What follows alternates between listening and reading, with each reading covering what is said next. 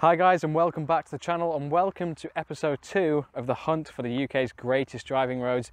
You can see today I'm in my Z4 Coupe. I'll leave a link to the playlist above. We've done a couple of videos on this car now but it's the latest addition to the channel so I'm really excited to get it on some good roads out here in the North York Moors today. Now you can see currently we're kind of, we're just outside Castleton actually which is quite a nice village kind of at the top at the north side of the North York Moors. You can see there's some pretty nice hill scenery behind us. It's quite kind of moorland areas around here with some nice open flowing roads. But anyway, let's have a look at the map and I'll show you the route that we've got planned for today. Okay, so looking at a map then, and yes, this is inspired by the legend that is Harry Metcalfe. We are using an analog map for this.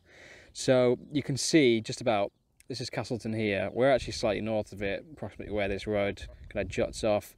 So we're going to head down south from here across Blakey Ridge down this road and then we're going to head east down into Rosedale Abbey. And then from there we're going to head kind of southeast down to Pickering.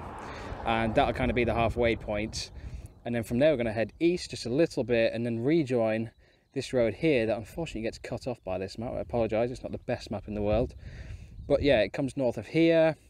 You can see it would kind of jut out this way a little bit and then come back and it'll go all the way up to the A171 right up here. And this is basically towards kind of the Whitby area. It'll be pretty close to the coast by the time we get to there. And then you can come back this way and complete the loop. I think it should be roughly probably about 50 or 60 miles in total. Obviously there's various little bits that you can do.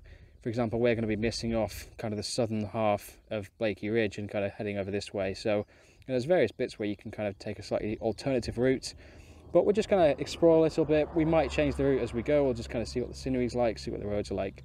But of course we'll keep you updated with the route that we take. So anyway i think that's enough of that. It's time to hit the road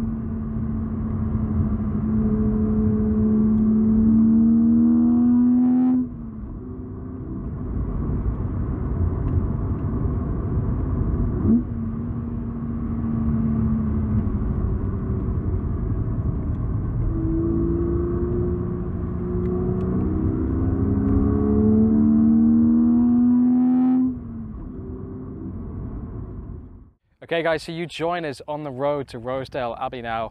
You'll have just seen some footage there on the front of the car. It's a fantastic section of road that.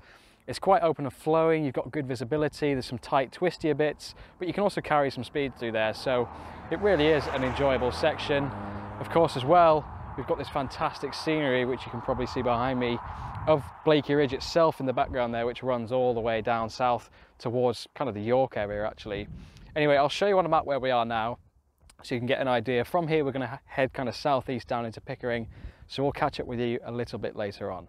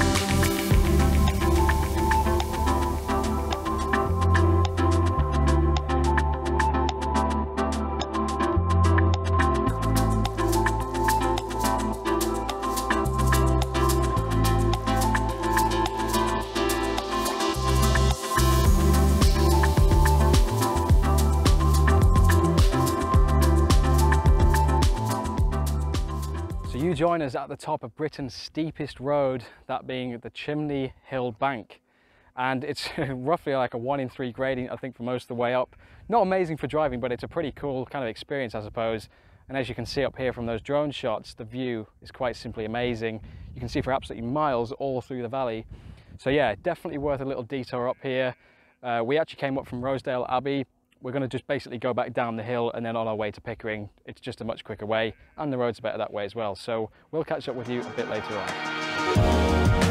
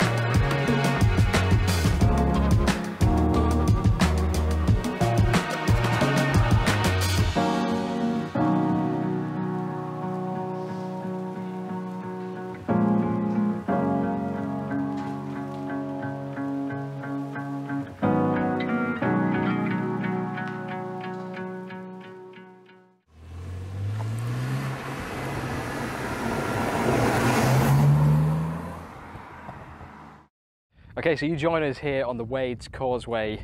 We've headed up north from Pickering now actually. We're about halfway sort of back up to where we started and we're in some really nice open moorland areas. You can see some of the roads that we just come on there. There's a big, big forest area which is really, really nice. Amazing sort of scenery. Quite kind of relaxed driving roads, but it is starting to open up a little bit more now as we head over to the moors and head higher up. So looking forward to seeing how the roads develop. And uh, yeah, we'll check in with you a bit later on.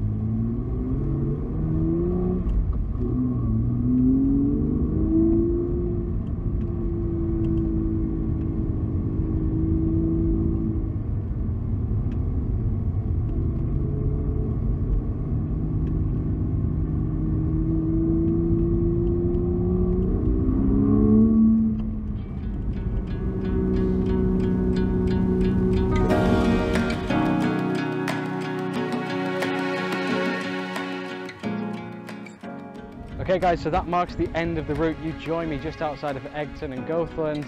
So we're pretty much all the way back north.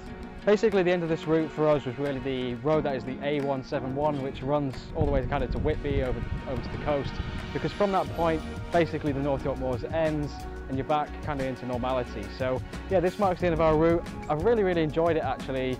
I think this is a great sort of area for driving. Perhaps the last stretch we did isn't as good as the first stretch across Blakey Ridge. And in terms of how it compares to the North Pennines, obviously what we covered in episode one, I do think that the North Pennines overall are better for driving, but this definitely has a little bit more, you know, touristy feel about it. There's a few more people here. There's a little bit more going on.